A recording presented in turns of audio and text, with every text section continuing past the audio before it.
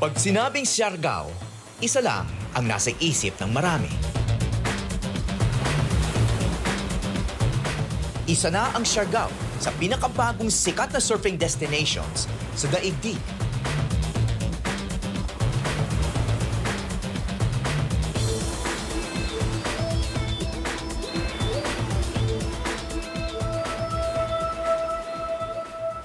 Ngayon may sulok ng Siargao na may kalayuan sa surfing na nakikilala na rin. Welcome to Supalagon! Iba ang kinagigiliwan dito. Ito ang Sugba Lagoon sa isla ng Kaub. Pero hindi lang mga turista ang dumarayo sa islang ito. Ang mga islang pinaghihiwalay ng dagat, naging balakid para makapag-aral ang mga bata rito. Hindi kasi lahat na may pambili ng gasolina. Pero isang ina ang nagmalasakit kahit pa sa mga batang hindi niya kadugo. Isa sa kanyang mga misyon, ihatid sundo sila sa paaralan gamit ang isang bangka.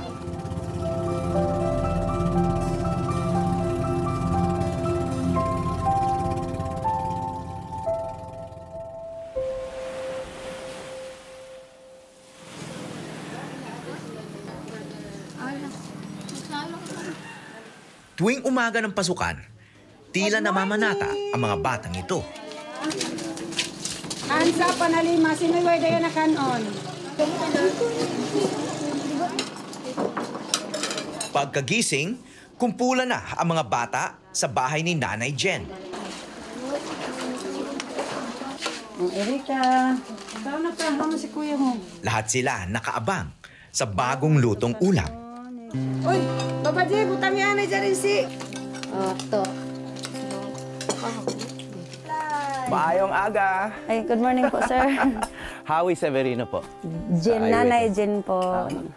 Mga alaga niyo sila. Opo. Ah, kung kulang pa lang, kulang pa nga po to eh. Pag galing dito, kailangan busog sila at para pagdating doon, ano sila, hindi sila makakaramdam ng gutom. Tapos pag mag-lecture na yung mga teacher nila, maiintindihan nila kasi hindi nila iisipin yung gutom. Mm-mm. Kasi yung iba, yung wala pang feeding, inuulam nila kape pagdating doon. Inuulam nila kape Opo. sa umaga. Opo, talagang kape po talagang inuulam dito. Pero marami kayong isda rito. Marami po. Bakit hindi yan ang kinakain sa umaga? Minsan po yung mga bata, kinakain sa umaga yung isda. Pero po sa amin po kasi yung mga asawa po namin, yung mga huli po nilang isda, imbis na ulamin, bibinta po para sa bigas. Kasi mahalaga po sa amin ang bigas talaga.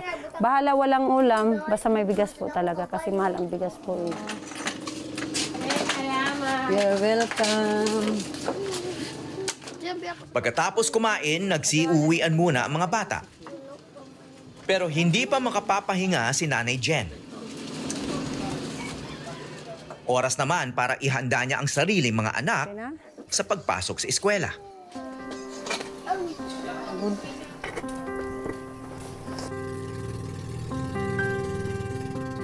Mula sa bayan ng General Luna, ang sentro ng turismo sa Siargao, kailangan ng dalawang oras na biyahe sa lupa at dagat bago marating ang isla ng Liaonan.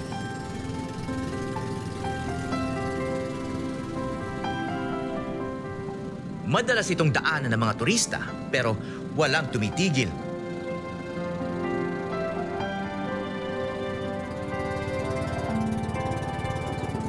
Isang munting sityo ng mga mangingisda.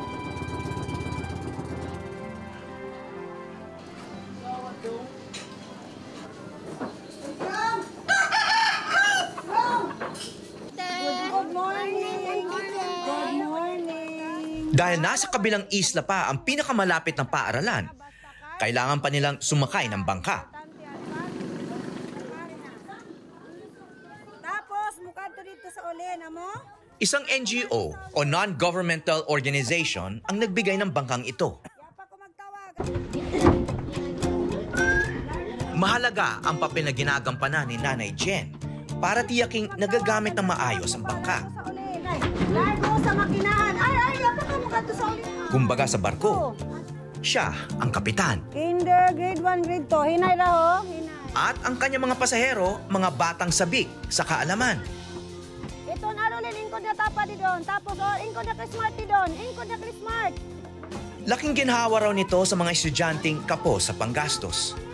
Kasi dati po, yung wala pang bangka po sa amin, sa Sitilyaunan, ay kanya-kanya po yan ang hatid. Kahit may bangka po kayo, yung mga ta- kahit may bangka, halimbawa ikaw po yun, taga dyan, kahit may bangka ka, tapos wala ka naman pambiling gasolina, hindi pa rin makakapasok. Yung ikinakatuwa pa namin kasi si Calls Overages, hindi lang po pampot ang Binibigay. binigay. Opo. Yung, ano mag, ah, sila na rin po ang sumasagot ngayon ng panggasolina. Nasa mahigit 30 bata ang hatid sundo ni Nanay Jen araw-araw. Lahat sila sama-sama sa iisang bangka. Tinitiyak na walang maiiwan.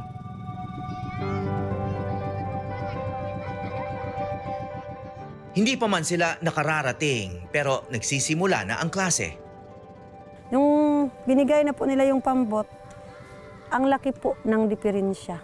Kung dati po maraming nag-absent kasi walang masakyan or kahit may sakyan, walang pambili ng gasolina. Ngayon po, wala nang rason. Kung may rason man na mag-absent sila, yun na yung masamang panahon or may lagnat sila. Pero kung wala naman po ay lahat po pumapasok. Pebrero ng taong ito nang ibigay ang bangka sa Isla Leona. Kaya ngayong pasukan ang may pinakamaraming bilang ng estudyante mula sa kanilang isla.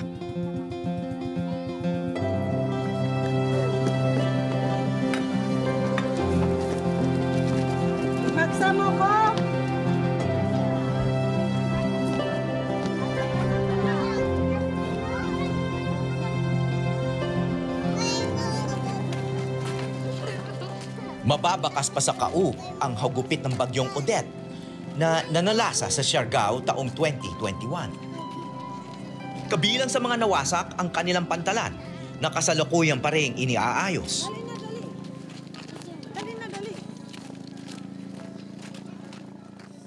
Hindi rin nakaligtas sa pinsala ng bagyo ang Lasala Elementary School.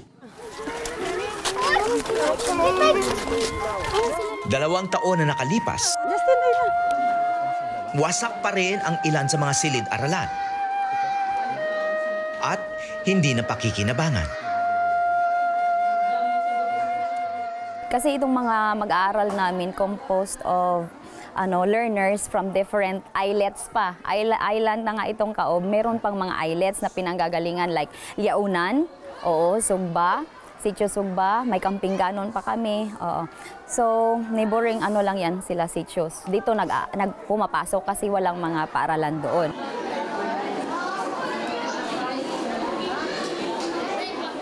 Ang mga temporary classroom ang pansamantala nilang tugon sa dumaraming estudyante. So, yung mga estudyante nyo rito, halo-halo, no? Kasi elementary dapat ito. Pero Oo, may, elementary tapos may high school. kasi walang mapapaglagyan ng high school. Ina-adapt. Oo. Pero last year inano namin inaayos namin yung paper for integration para oo, maging Lasala Integrated School na siya.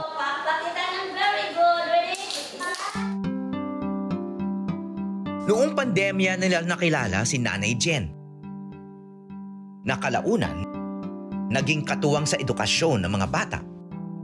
Instead na yung teacher namin pupunta doon sa Sitio Liaunan para magdala ng module, mag-conduct ng home visitation, tutorial.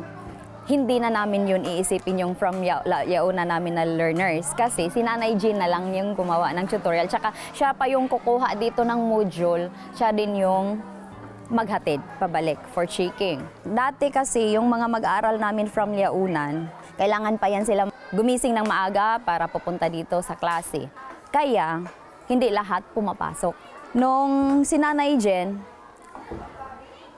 tumulong na sa amin, siya na yung mag-encourage, napasok kayo.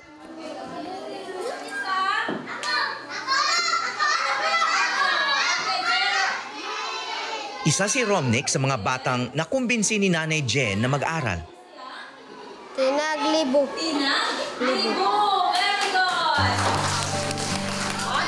Sa limang magkakapatid, si Romnick lang ang pumapasok ngayon. Okay, another example. Suppose we have 300. Ang iba hanggang grade 2 lang ang natapos. Kung wala siya rito, marahil nagtatrabaho rin siya. At nangingisda kasama ng magulang. Si Romnick po ay kapitbahay ko rin po. Tinatawag ko po yan siya. Nagtatago talaga yan sir doon sa ilalim ng ano nila yung salutuan. Grade 5 na dapat si Romnick pero dahil pahinto-hinto, siya ang pinakamatangkad sa kanilang klase. Sa edad na labing isa, grade 2 lang si Romnick ngayon. So, nag-aaral ka ngayon. Gusto mo mag-aral? Ba- bakit, bakit mo gusto mag-aral? Ha? Para makapagtapos. Para makapagtapos. Pag nagtapos ka, anong gusto mo mag-high school? Tsaka ituloy, gusto mo ituloy ang pag-aaral mo? Tapos, may pangarap ka pang trabaho ngayon? Anong klaseng trabaho ang gusto mo? Pulis. Nang mag-lockdown dahil sa pandemya, nagboluntaryo si Nanay Jen pumunta sa school para kuhanin ng modules ng mga bata sa Isla Leona. Maymay bayo ini na litra. Binuksan din niya ang kanyang tahanan para sa mga gustong magpaturo. Na. Eh. Kawawa talaga ang mga bata kasi mayroon ng panahon sir na di ba wala na talagang ano. Sabi ko nakikita ko ang mga bata langoy-langoy na lang sa dagat, langoy na lang, tapos takbo-takbo, tapos nangingitim na. Sabi ko sa asawa ko, itong bahay na lang natin, tanggalin na lang natin yung mga ano, dito na lang kami, mag ano na lang kami dito, gawin na lang natin itong ano, eskwelahan, eskwelahan. Sabi ko, pagdating ng panahon, gusto ko wala nang hindi marunong bumasa at sumulat. Kailangan talaga nila ng tulong talaga. Ang kabayanihang ito ni Nanay Jen. Nalaman ng program director ng ESPWA, School of Life Philippines, Go. na si Jerlyn Rabaca. Ina ina. Two. Ang ESPWA ay isang non-governmental organization na layong mabigyan ng libreng edukasyon ng mga kabataan sa mga kapuspalad na komunidad sa Siargao. Ang ESPWA ay pag-asa sa wikang French.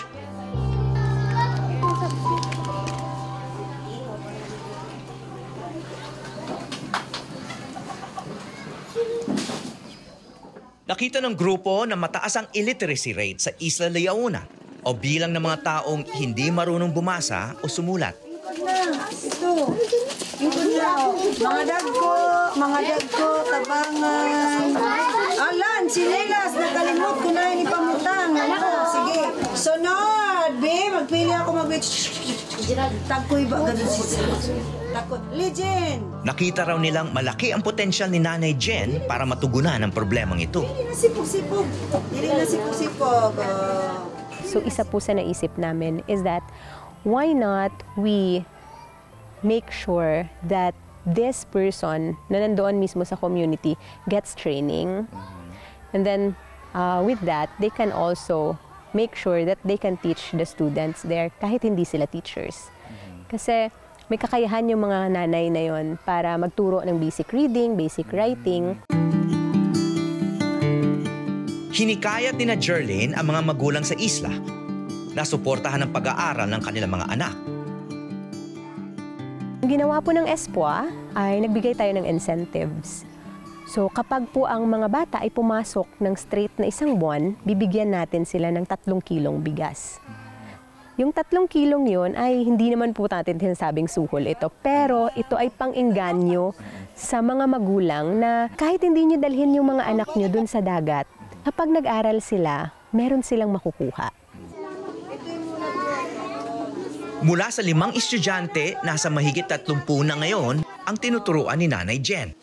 At lahat sila ay pumapasok din sa paaralan. So nakita po namin tuloy-tuloy sa pag-aaral yung mga bata. Ibig sabihin ay nagustuhan na talaga nila yung pag-aaral. So yung ah, incentive po na binibigay natin ay napalitan ng feeding program. Ang dating silong lang ng kanilang bahay, Mabait, uno pa. Uno pa. bagong bihis na. Uno pa, Romnek. Sige, be. May pisara, mga libro, at iba pang gamit pang eskwela. Dito, magkakaiba man ang edad ng kanyang tinuturuan. Kung ano ang sinagot ng kanyang anak. Napag-iisa naman sila ng kagustuhang matuto. Hindi naman talaga sir whole day yung pagtuturo ko. Minsan isang oras, dalawang oras. Basta kay mabigyan ko talaga sila ng pagkakataon. Kasi sa akin lang sir ayaw ko na may binubuli. Binubuli dahil hindi marunong magsulat at magbasa. Yung opo, Kasi yung mga... sinasabing no read, no write, Oo, ganon. yung mga ganun. Oo. Nakikipag-away ako kasi ayaw ko na inaano ka, yung ganun ba sir? Kahit ako na lang yung anuhin nila, ako na lang yung bulihin. Habang abala sa pagtuturo si Nanay Jen, ang kanyang asawa naman ang nakatoka sa mga gawaing bahay. pa para naman sa, sa mga bata na, na, na maka-eskwela sila. Yun ang po, kaya, yan ang pinaka-importante sa mga bata na pa-eskwela namo. Kwento ni Nanay Jen, ang kanyang asawa ang pinakauna niyang naging estudyante. Kasi yung asawa ko hindi talaga yan naka, nakapag-aral simula. Kahit kahit daycare, hindi talaga siya nakatungtong ng school. school. Tapos naisip ko, sabi ko, paano na lang to pag pag nagano na sila sa susunod na panahon. Tapos wala silang alam. Kailangan talaga nilang matuto. Tapos ngayon, sabi ko sa asawa ko, turuan kita. Iniisip ko kasi yung mga tatay na muna noon na para pag hin- pagdating ng ano ng eleksyon hindi na sila bibit-bitin yung marunong na talaga sila mag ano. Tapos at saka marunong sila magsulat. Nitong Marso, pagkatapos ng ilang taong pagsasama, ikinasal sina Tatay Lito at Nanay Jen. Ito raw ang unang pagkakataon na naisulat ni Tatay Lito ang kanyang pangalan at pirma sa isang dokumento. Uh, tagtudloan ako ni din pag permanan nga yan, apelido. Para sa mga bata na, para sa pag-eskwela, importante man makasal kami like, First year high school lang ang natapos ni Nanay Jen. Kaya nung una, may ilang pinagdudahan ang kakayahan niyang magturo. Minsan dumadaan ako sa kanila tapos sasabihin na, ay magtuturo na rin ako, parang ano, ay may baliw na, di, na, na teacher dito. Tapos, talaga, may teacher na. Akala mo naman totoong teacher, hindi. Bakit nakatapos ka ba? Pero sila-sila lang din yan nag-uusap. Kasi sila yung, sila talaga yung pinakaunang ano, pinakaunang, yung hinahamak nila yung pagkatao ko na, hindi, alam ko sa sarili ko, hindi naman ako baliw. Alam ko naman sa sarili ko kung ano yung ginagawa ko. Tapos, iniisip talaga nila na baliw ako. Pero, tas sa pagkatagalan na, bakit, bakit yung anak mo pina, eh, gusto mo paturuan sa akin. Tapos, hindi mo naisip kung paano mo ako inanon. Dati parang tisirin mo ako. Tapos tiniis ko, inopin ko sa asawa ko na bakit ganyan sila. Tapos sabi naman ng asawa ko, ano ba sa palagay mo kung ayaw mo na, di wag. Tapos sabi ko, hindi, hindi ako titigil kasi kawawa ang mga bata. Tala, dapat ipagpatuloy ko. Bahala. Hindi naman importante sa akin kung ano ang sasabihin nila. Basta ang mahalaga sa akin, may natutunan yung bata at at na ano ko sa kanila sir na may mga pangarap pala sila na hindi na hindi alam ng mga magulang na may mga pangarap yung mga bata nila tas ako pang nakadiscover kung ano yung mga pangarap ng mga bata nila.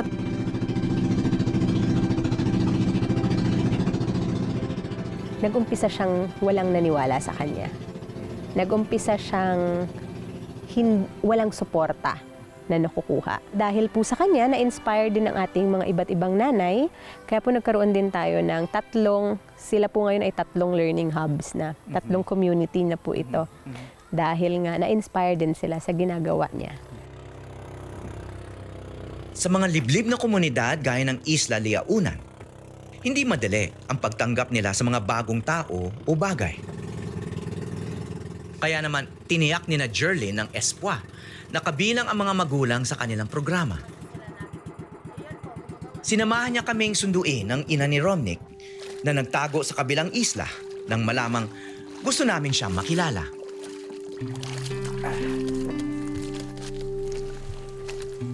Pwede kumusa ka?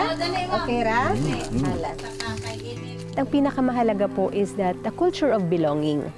Yung maramdaman nila that they belong to that community, that they belong in this society. Kasi kung maramdaman po nila yon is malalaman nila ano bang purpose ko. Ano ba talaga yung um, bakit ako nandito?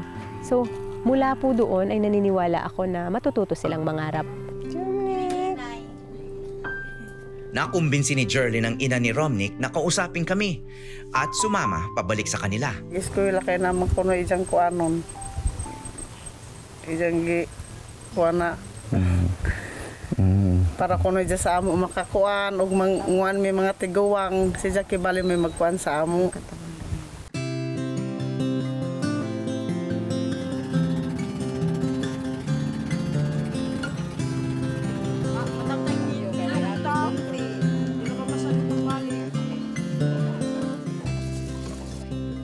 Tinitipon nila ang mga nanay sa isla para sa livelihood training.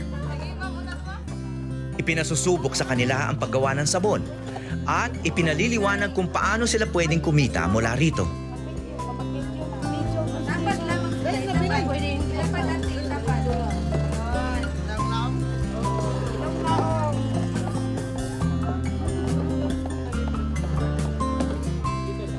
Nagulat kami na tinuturuan din ng mga bata kung paano mag-ipon ng pera.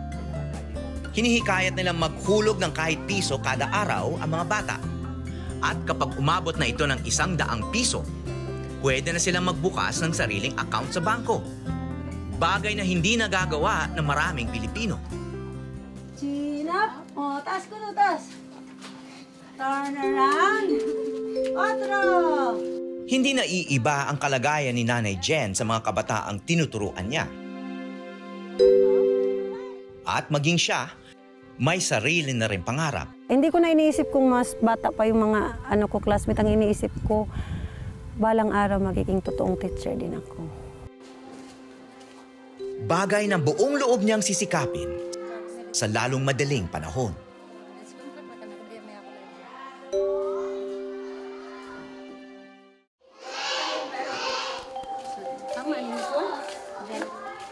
Paglipas ng ilang taong pag-aaruga ni Nanay Jen sa mga bata at paghihikayat sa kanilang magpursige sa pag-aaral, ako, ma'am. Umusbong din ang pangarap ni Nanay Jen para sa sarili. Tup ko po talaga na ano. Dati ko po yan pa naisip, sir, kaso lang baby pa po yung anak ko. Mahihirapan po po talaga ako. Ngayon na nag-aaral na siya ng daycare, sabi ko, pwede na ako mag-enroll. Photocopy na ini? Yes, ma'am. Or original? Mapalad si Nanay Jen at nakaabot pa siya sa enrollment. Sa edad na 37, masaya siyang babalik sa eskwelahan bilang second year high school student. So upo ka rin sa classroom. Opo, opo. Ano, so ano, ano, ano magiging pakiramdam mo? Siyempre, lahat ng mga kaklase mo, mas mga bata, no?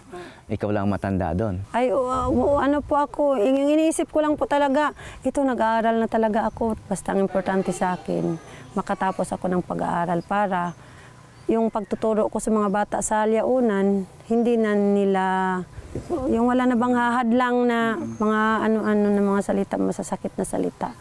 Ipakilaya na to kung saan mga naan. Malaking bagay rin ang pagmamalasakit ng ilang grupo. Lapis, Jari. Pag tumatay, nagtatayo kami ng programa o pinapalago ang isang programa at sinusuportahan, meron pong shared responsibility ang community palagi. Kasi sila ang may alam ko anong kailangan nila, hindi kami.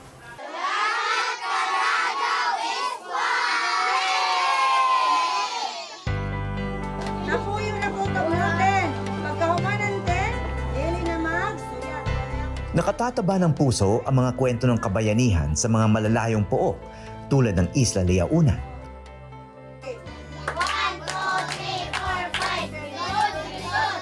Pero sa totoo lang, hindi naman responsibilidad ni Nanay Jen ang edukasyon ng mga bata. Kaya tayo may gobyerno at mga pampublikong paaralan. Una, no, we have this mga last mile program no, of DepEd. Uh, this is actually to address uh, schools which are very far with uh, very complicated conditions.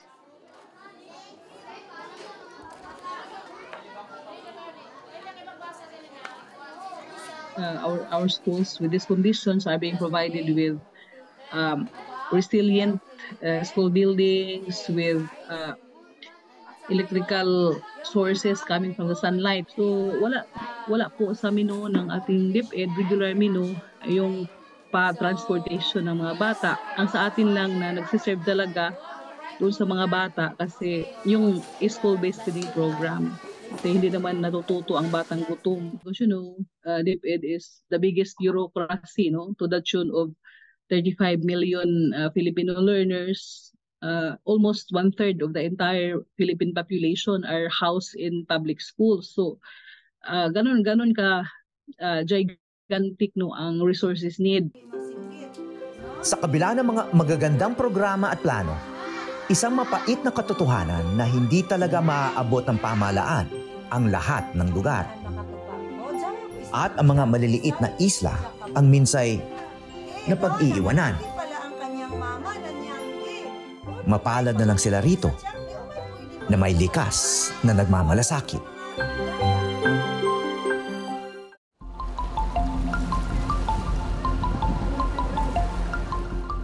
Maraming biyaya ang pagiging arkipelago. Ang pag-unlad sa atin ay para ring karagatan. Maari itong maghati sa mga taga-isla sa pagitan ng mga nakikinabang at mga hindi.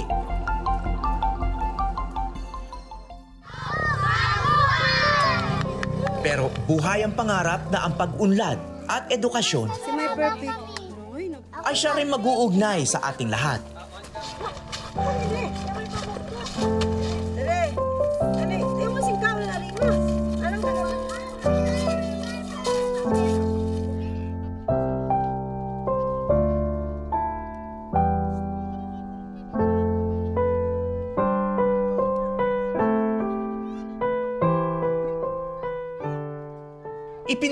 Ni na Nanay Jen at ng ibang nakilala namin dito na halip na balakid, ang dagat ay pwede rin maging daluyan ng karunungan.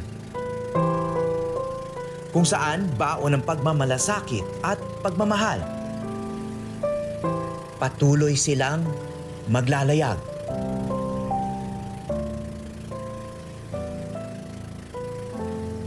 Mula sa mga isla ng Liaunan, Kaub at Siargao, ako po si Howie Severino. At ito ang Eyewitness.